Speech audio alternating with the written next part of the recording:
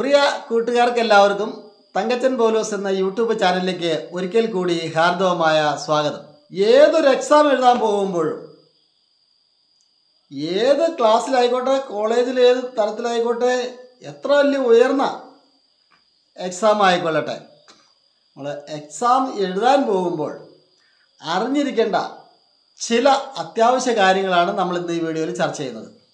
പരീക്ഷ എഴുതാൻ പോകുമ്പോൾ എത്ര ധൈര്യശാലിയായ ആളുകളാണെങ്കിലും ചിലപ്പോൾ ഒരു ഉത്കണ്ഠ നമ്മളെ കടന്നു പിടിക്കും. ആ ഉത്കണ്ഠയെ നമ്മൾ എങ്ങനെ തരണം ചെയ്യും? അതിന് നമുക്ക് എക്സാം ഹാളിൽ ഇരിക്കുമ്പോൾ ഉണ്ടാകുന്ന ടെൻഷൻ അകറ്റാൻ ഉത്കണ്ഠ അകറ്റാൻ നമുക്ക് ചെയ്യാവുന്നത് രണ്ട് മൂന്ന് പ്രാവശ്യം കണ്ണടച്ച് പിടിച്ച് ദീർഘമായി ശ്വാസം അകത്തേക്ക് വലിച്ച് വിടുക. റിലാക്സേഷൻ വന്ന് നമുക്ക് കിട്ടും. അതിനുശേഷം നമുക്ക് സാവകാശം ക്വസ്റ്റ്യൻ പേപ്പറിലേക്ക് കണ്ണുപിടിക്കാം.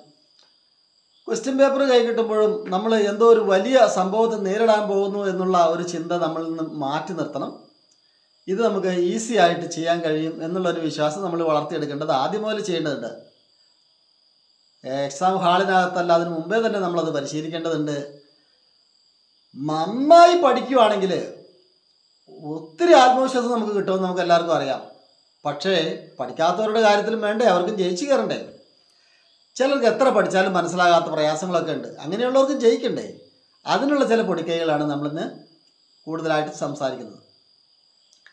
അതിന് പ്രധാനമായിട്ട് അറിഞ്ഞിരിക്കേണ്ട ചില കാര്യങ്ങൾ ഒന്ന് നമ്മൾ എല്ലാ ക്വസ്റ്റിനും ആൻസർ ചെയ്യുക എന്നുള്ളതാണ്. ക്വസ്റ്റ്യൻ എന്ത് തന്നെ ആയിക്കൊള്ളട്ടെ നമുക്ക് തീരെ അറിയില്ലായിരിക്കാം. പക്ഷെ നമ്മൾ ആദ്യമായിട്ട് ക്വസ്റ്റ്യൻ പേപ്പർ വായിക്കുമ്പോൾ ഒരു കടലാസ് പെൻസിൽ കൊണ്ട് അറിയുന്നവ മാത്രം നമ്മൾ ടിക്ക് ചെയ്തു. നന്നായിട്ട് അറിയുന്നത് മാത്രം ടിക്ക് ചെയ്യാം. അപ്പോൾ നമുക്ക് ക്വസ്റ്റ്യൻ പേപ്പർ മൊത്തം വായിച്ചു കഴിയുമ്പോൾ നമുക്ക് മനസ്സിലാവും. ഇരുപത് ചോദ്യങ്ങളുണ്ട്. അതിനകത്ത് നമുക്ക് പത്തെണ്ണം അറിയുന്നുണ്ട് എന്ന് വിചാരിക്കാം. അല്ലെങ്കിൽ അഞ്ചെണ്ണം അറിയുന്നുണ്ട് നന്നായിട്ട് അറിയുന്നുണ്ട്. നമുക്ക് ആ അഞ്ചെണ്ണം ആദ്യം എഴുതാം.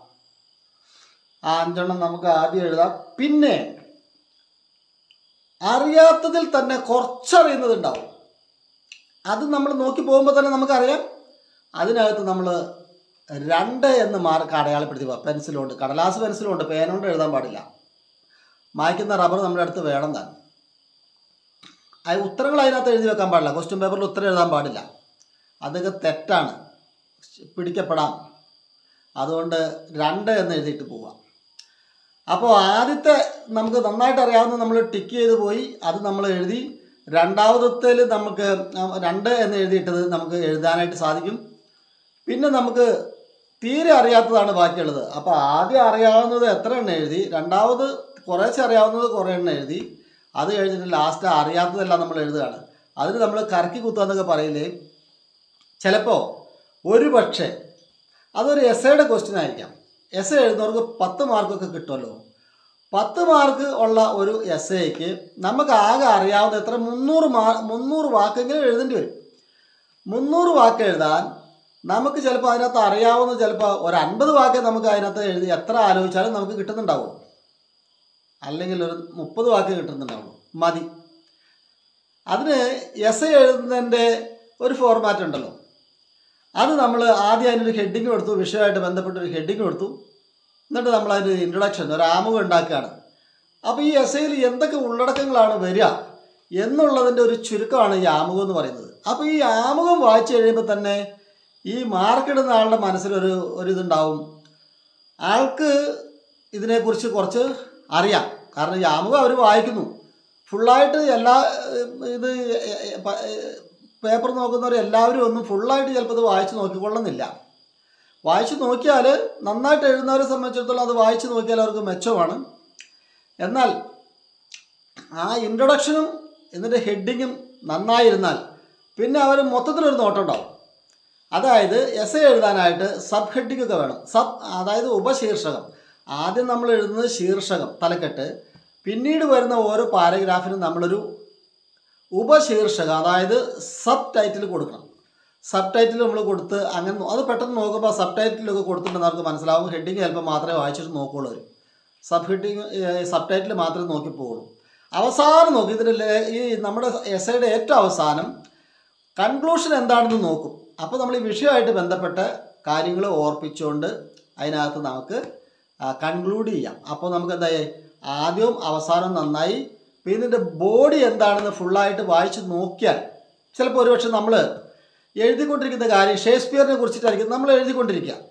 ഷേക്സ്പിയറിനെ കുറിച്ച് നമുക്ക് എഴുതാനായിട്ട് വല്ലാതെ ഒന്നും അങ്ങ് കിട്ടുന്നില്ല അറിയാവുന്ന കുറച്ച് എഴുതി. അപ്പോൾ പിന്നെ എന്ത് ചെയ്യും നമുക്ക് മുന്നൂറ് പേജ് മുന്നൂറ് വാക്കുകൾ എഴുതണ്ടേ? അതായത് മൂന്ന് എ ഫോർ സൈസ് മൂന്ന് പേജ് എഴുതണം. അതായത് ഒരു എ ഫോർ സൈസിൽ ഇരുപത് ലൈനുണ്ട് ഉണ്ടാകും അതിൽ ഒരു ലൈനിൽ അഞ്ച് വാക്ക് വെച്ച് കണക്ക് കൂട്ടി ഇരുപത് ലൈനിൽ നൂറ് വാക്ക് വരും. അങ്ങനെയാണെങ്കിൽ എ ഫോർ സൈസ് മൂന്ന് പേപ്പർ എഴുതിയാൽ നമുക്ക് മുന്നൂറ് മുന്നൂറ് വാക്കുകൾ വരും. ഇത് നമ്മൾ എണ്ണി നോക്കൊന്നും വേണ്ട. ഒരു ലൈനിൽ അഞ്ച് വാക്കാണോ ഇതിൽ മൊത്തം ഇരുപത് ലൈൻ എന്നൊന്നും എണ്ണി നോക്കേണ്ട ആവശ്യമൊന്നുമില്ല. അത് നമ്മൾ മനസ്സിൽ വെച്ചാൽ മതി. ഒരു പേജ് ഫുള്ള് എഴുതിയാൽ നൂറ് നൂറ് നൂറ് വാക്കുണ്ടെന്ന് കണക്കൂട്ടിയാൽ മതി. അപ്പോൾ നമുക്ക് ഈ മുന്നൂറ് വാക്ക് തയ്ച്ച് എഴുതാൻ നമുക്ക് ആ ഇത് കിട്ടുന്നില്ലെങ്കിൽ എന്ത് ചെയ്യണം? നമുക്ക് ഓർമ്മയുള്ളത് ബോബുലാന്റെ ആണോ അതല്ലെങ്കിൽ ഒക്കാരയുടെ ആണോ ഏതാ കിട്ടുന്നത് വെച്ചാൽ എടുത്ത് കാച്ച. അവസാനം അതിന്റെ കൺക്ലൂഷൻ അതിലേക്ക് നമുക്ക് കൺക്ലൂഷൻ എഴുതി ചേർത്ത് അതിന് നമുക്ക് ഫില്ല് ചെയ്യാൻ സാധിക്കും. അപ്പോൾ നമുക്ക് പത്ത് മാർക്കിന്റെ ക്വസ്റ്റ്യൻ എത്ര തന്നെ ആയാലും അത്ര ക്രൂരരായ ഒരാളല്ല നോക്കുന്നതെങ്കിൽ ഒരു എട്ട് മാർക്ക് നമുക്ക് കിട്ടും. അപ്പോൾ നമുക്ക് ലാഭമല്ലേ എട്ട് മാർക്ക് ഒറ്റയടിക്ക് നമുക്ക് പോകുന്നില്ലേ അതുപോലെ തന്നെ സമ്മറി എഴുതുന്നതും. ഈ സമ്മറി എഴുതുന്നതിന്റെയും ഒരു ചട്ടക്കൂടുണ്ട്. അത് ക്ലിയർ ആയി കഴിഞ്ഞാൽ അതിന്റെ ഉള്ളടക്കത്തിൽ ചെറിയ ചേഞ്ചൊക്കെ വരും. ചിലപ്പോൾ പക്ഷേ നമുക്ക് അറിയില്ല ഉള്ളടക്കത്തിൽ ചിലപ്പോൾ നമുക്ക് ചേഞ്ചൊക്കെ വരും. കാരണം നമ്മൾ മുന്നൂറ് വാക്ക് തയ്ക്കണം അല്ലെങ്കിൽ നൂറ് വാക്ക് തയ്ക്കണം ഒരു പേജ് ഫുള്ള് എഴുതണം. നമുക്കൊന്നും കിട്ടുന്നില്ല. കിട്ടാതെ വരുമ്പോൾ നമുക്ക് അതിന്റെ ഇടയ്ക്ക് ചില കാര്യങ്ങളൊക്കെ നമുക്ക് അറിയാവുന്നത് നമ്മുടെ പാഠ പാഠ്യവിഷയവുമായിട്ട് ബന്ധപ്പെട്ട ഏതെങ്കിലും ഒരു പാഠത്തിന്റെ കാര്യങ്ങളൊക്കെ അതിനകത്ത് എഴുതി അതിന്റെ ഉപസംഹാരം അതുപോലെ തന്നെ ആമുഖം ടൈറ്റിലൊക്കെ ശരിയാക്കി സബ് ഒക്കെ ശരിയാക്കി കഴിഞ്ഞാൽ നമുക്ക് ഈ പത്ത് മാർക്കിന്റെ ആണെങ്കിൽ എട്ട് മാർക്ക് കിട്ടിയെന്ന് വരും അഞ്ച് മാർക്കിന്റെ ആണെങ്കിൽ മൂന്ന് മാർക്ക് കിട്ടിയെന്ന് വരും. അങ്ങനെയൊക്കെ നമ്മൾ എഴുതിയാൽ തന്നെ നമുക്ക് അഞ്ച് മാർക്കിന്റെ അഞ്ച് ചോദ്യം ഉണ്ടെങ്കിൽ പതിനഞ്ച് മാർക്ക് അതിൽ നിന്ന് കിട്ടിയില്ലേ? ഏ പത്ത് മാർക്കിന്റെ രണ്ടെണ്ണം ഏതായാലും ഉണ്ടാവും ക്വസ്റ്റ്യൻ അതിനകത്ത് നമുക്ക് എട്ടിട്ട് കിട്ടിയ പതിനാറ് മാർക്ക് കിട്ടിയില്ലേ? അപ്പോൾ പതിനാറും പതിനഞ്ചും എത്രയായി? മുപ്പത്തൊന്ന് മാർക്കായില്ലേ മുപ്പത്തൊന്ന് മാർക്കായില്ലേ? മുപ്പത്തൊന്ന് മാർക്ക് നമുക്ക് അങ്ങനെ നമുക്ക് സേവ് ചെയ്യാം. ഇപ്പൊ ഏഴ് ക്വസ്റ്റിനെ കഴിഞ്ഞിട്ടുള്ളൂ. ഇനി ബാക്കി എത്ര? പത്തെണ്ണം ഉണ്ടെന്ന് കൂട്ടുക. അതിൽ മൂന്ന് മാർക്കിന്റെ ഒക്കെ ആയിരിക്കും ചിലപ്പോൾ അതിനകത്ത് എന്തായാലും ഒരു നാലഞ്ചെണ്ണം നമുക്ക് അറിയാവുന്നുണ്ടെന്ന് വെച്ചോ. പതിനഞ്ച് മാർക്ക് അതിൽ നിന്ന് കിട്ടിയില്ലേ? പിന്നെയുള്ള പത്തെണ്ണം. ആ പത്തെണ്ണത്തിൽ നമുക്ക് ഒന്നും അറിയില്ല എന്ന് വിചാരിച്ചോ. ആ പത്തെണ്ണത്തിന് നമുക്കൊന്നും അറിയില്ലാത്തതാണെങ്കിൽ നമുക്ക് അതിന് അറിയണ മാതിരി എന്തെങ്കിലുമൊക്കെ ഇങ്ങോട്ട് എഴുതി വെച്ചാൽ ഇതുമായിട്ട് എന്തെങ്കിലും പുലബന്ധം ഉണ്ടെങ്കിൽ എന്തെങ്കിലും പുലബന്ധം ആ വിഷയമായിട്ടുണ്ടെങ്കിൽ ആ ടീച്ചർ അത് വായിച്ചാലും നമുക്ക് എന്തെങ്കിലും ഒരു മാർക്ക് തരും. അത് മാത്രമല്ല വായിക്കാതെയാണ് പെട്ടെന്ന് ഹെഡിങ്ങും തലക്കെട്ട് അങ്ങനെയുള്ള കാര്യങ്ങൾ മാത്രം നോക്കുന്നുള്ളെങ്കിൽ നമുക്ക് ഓരോരോ മാർക്ക് കിട്ടിയാൽ തന്നെ അഞ്ച് മാർക്ക് നമുക്ക് അങ്ങനെയും കിട്ടും. അപ്പോൾ എത്ര മാർക്കാണ് ഇവിടെ? നമ്മൾ മുപ്പത്തൊന്നും പത്തൊന്ന നാൽപ്പത്തിയൊന്നും നാല് നാൽപ്പത്തഞ്ച് മാർക്കൊക്കെ നമുക്ക് ഒരു കൊട്ടക്കണക്കിന് ഞാൻ പറയാം. ഒരു നാൽപ്പത്ത് പത്ത് നാൽപ്പത്തഞ്ച് മാർക്ക് മേടിക്കാൻ വലിയൊരു കഷ്ടപ്പാടൊന്നുമില്ല. പിന്നെ എല്ലാവർക്കും ഉള്ള ഒരു പരാതി ഇതാണ്. അയ്യോ എനിക്ക് അറിയാവുന്നത് എഴുതാൻ പറ്റിയില്ല എന്നുള്ള ഒരൊറ്റ പരാതി പലരും പറഞ്ഞിട്ടുണ്ട് ഞാനും പറഞ്ഞിട്ടുണ്ട്. കാരണം ഞാൻ പ്ലസ് ടുവിന്റെ എക്സാം എഴുതുമ്പോൾ എനിക്ക് ഹിന്ദി ആയിരുന്നു. ഹിന്ദി ഞാൻ സെക്കൻഡ് ലാംഗ്വേജ് ആയിട്ട് എടുത്തിരുന്നത്. അപ്പോൾ എനിക്ക് ക്വസ്റ്റ്യൻ പേപ്പർ വായിച്ച അന്ന് നൂറ്റി അറുപത് മാർക്കിനുള്ള ക്വസ്റ്റ്യൻ വന്നിട്ടുണ്ട്. ഞാൻ അത് വായിച്ച് വായിച്ചത് എനിക്ക് ഭയങ്കര ഹരം പിടിച്ചു. കാരണം എല്ലാം എനിക്ക് നന്നായിട്ട് അറിയാവുന്നത്. അതിൽ ഞാൻ എന്താക്കി ഇതെല്ലാം എനിക്ക് എഴുതാൻ പറഞ്ഞു ഇതെല്ലാം വായിച്ച് കഴിഞ്ഞ് മാർക്ക് ചെയ്തൊക്കെ ഞാൻ ഇതേപോലെ പെൻസിലോട്ട് മാർക്ക് ചെയ്തൊക്കെ വന്ന് ലാസ്റ്റ് എഴുതി എഴുതി വന്നപ്പോൾ എനിക്ക് എഴുതാൻ സ്പീഡില്ല ഹിന്ദി ഞാൻ അതുവരെ വായിച്ച് മാത്രമേ പഠിച്ചിട്ടുണ്ടായിരുന്നുള്ളൂ. പക്ഷേ എഴുതി പഠിച്ചിട്ടില്ലായിരുന്നു. വളരെ അപൂർവമായിട്ട് എഴുതാറുണ്ടായിരുന്നുള്ളൂ.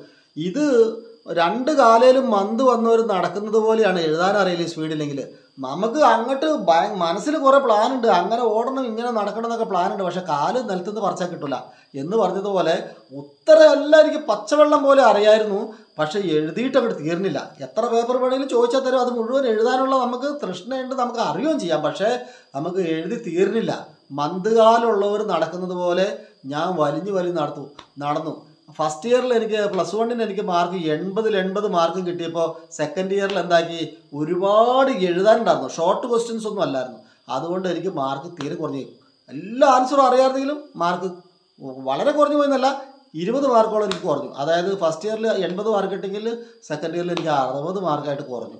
അപ്പോൾ അങ്ങനെയുള്ള പ്രയാസങ്ങൾ വരാതിരിക്കാൻ വേണ്ടി എന്ത് ചെയ്യണം? നാല് ദിവസമെങ്കിൽ നാല് ദിവസം നിങ്ങൾ എഴുതിയിട്ട് ശീലിക്കണം. എഴുതാൻ അറിയാമെന്ന് പറഞ്ഞിട്ട് കാര്യമില്ല. നന്നായിട്ട് സ്പീഡിലൊന്ന് എഴുതി നോക്കണം. മാർജിൻ വിടാൻ മറക്കരുത്. നിങ്ങളുടെ എ ഫോർ ഷീറ്റിൽ നാല് വശവും മാർജിൻ വേണം. പേപ്പർ നിങ്ങൾ ലാഭിക്കേണ്ട ആവശ്യമില്ല. നാല് വശത്തും മാർജിൻ വിട്ടേക്കണം. അടിയിൽ മുകളിൽ ഇടതുവശത്ത് വലതുവശത്ത്. വലതുവശത്ത് ഇച്ചിരി കുറഞ്ഞാലും മാർജിൻ നിർബന്ധമാണ്. ഇടതുവശത്ത് ഇച്ചിരി അധികം മാർജിൻ വേണം. മാർക്ക് ഇടാനൊക്കെ ഉള്ളതുകൊണ്ട് ഇടതുവശത്ത് കുറച്ച് മാർജിൻ കൂടുതൽ വലുതാക്കി ഇടണം. പിന്നെ ശ്രദ്ധിക്കേണ്ട ഒരു കാര്യം.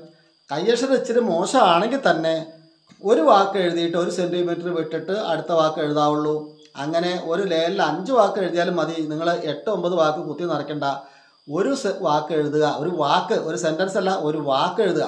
ഇപ്പോൾ പഴം എന്നാണ് എഴുതുന്നതെങ്കിൽ പഴം എന്ന് എഴുതിയിട്ട് പപ്പടം എന്ന് എഴുതുന്നത് കുറച്ച് വിട്ടിട്ടങ്ങ് എഴുതിയാൽ മതി. അത് മനസ്സിലാക്കണമല്ലോ അപ്പോൾ അങ്ങനെ നിർബന്ധമായിട്ടും മാർജിൻ നാല് വശത്തും വിടണം. വാക്കുകൾ തമ്മിലുള്ള അകലം ഒരു സെന്റിമീറ്ററെങ്കിലും മിനിമം ഒരു സെന്റിമീറ്ററിലെങ്കിലും വാക്കുകൾ അകലം വിട്ട് എഴുതണം. കഴിയുന്നത്ര അക്ഷരങ്ങൾ വ്യക്തമായിട്ട് എഴുതണം. പാരഗ്രാഫ് തിരിച്ചെഴുതണം. നമുക്കിപ്പോൾ കുറേ അറിയാം ആശയങ്ങളുണ്ട് പെട്ടെന്ന് എഴുതാനൊക്കെ കഴിയും എന്ന് വിചാരിച്ചിട്ട് ഒരൊറ്റ നീട്ടി വലിച്ച് അങ്ങോട്ട് ഒരു തലയ്ക്കുന്ന മറ്റേ തല വരെ എഴുതി പോയാൽ അത് നോക്കണവർക്ക് ഒരു ഐഡിയയും കിട്ടില്ല. അപ്പോൾ എന്താകണം? ഇടയ്ക്കൊന്ന് കട്ട് ചെയ്ത് ഒരു പാരഗ്രാഫ് ആക്കിയിട്ട് അതിനൊരു ശീർഷകമൊക്കെ കൊടുത്തിട്ട് ഉപശീർഷകമൊക്കെ കൊടുത്ത് അങ്ങനെ എഴുതുകയാണെങ്കിൽ നല്ല ഭംഗിയുണ്ടാവും. വാക്കുകൾ തമ്മിൽ അകലമൊക്കെ ഉണ്ട് മാർജിനൊക്കെ ഉണ്ട്. ഇങ്ങോട്ട് എഴുത്ത് കണ്ടാൽ തന്നെ ആ ഇത് അറിയാവുന്ന ആൾ എഴുതാൻ തോന്നിയാൽ പിന്നെ ഒരുപാട് വാല്യുവേഷൻ നടത്തുന്ന ആൾ ഒരുപാട് അതിനകത്ത് കിടന്ന് മാന്തിച്ച് പൊളിക്കൂല.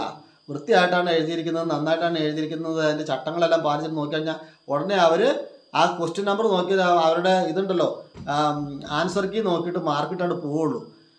അപ്പോൾ ആ ഒരു കാര്യവും നിങ്ങൾക്ക് അങ്ങനെ നിങ്ങൾക്ക് മറികടക്കാനായിട്ട് സാധിക്കും.